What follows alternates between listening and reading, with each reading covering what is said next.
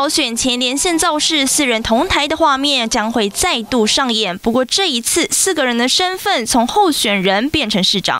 十一号呢，就是二零二三平西天灯节。除了北北基桃四位首长要参加之外呢，他们还要首次召开闭门会议，展现蓝营团结气势。新北市长侯友谊借由平息天灯节的活动，邀请台北市长蒋万安、基隆市长谢国良、桃园市长张善政，而活动前将首次召开联合闭门会议，将针对环状线经营权一二零零月票实施、系东线规划进行讨论。人都要把自己的角色做好，大家同心齐力，携手合作。我现在是新北市的市长，我有责任把新北市的大小事全力以赴，让。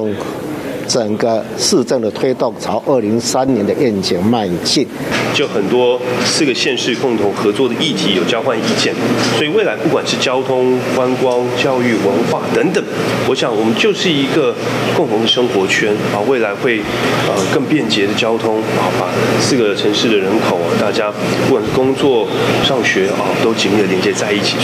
市长都说闭门会议就是要谈市政，不过侯友谊召集会议，展现国民党领头羊的气势。有了北基桃首长用行动相挺，突破二零二四党内初选的提名困境。新北市的地理位置刚好是北北基桃的中心点，我们平常就有三个县市的生活圈的共同讨论。我们最近是把北北基桃整个串联起来，速度会更快。效率会更好。我至于党内征召他吗？其实我们最重要就是市政的推动，我们就是为市民的权益来呃打拼。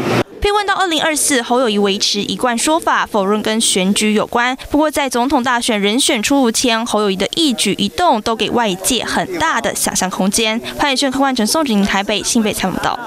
请订阅、按赞、分享环宇新闻 YouTube 频道，并开启小铃铛，及时掌握全球时事与最新趋势。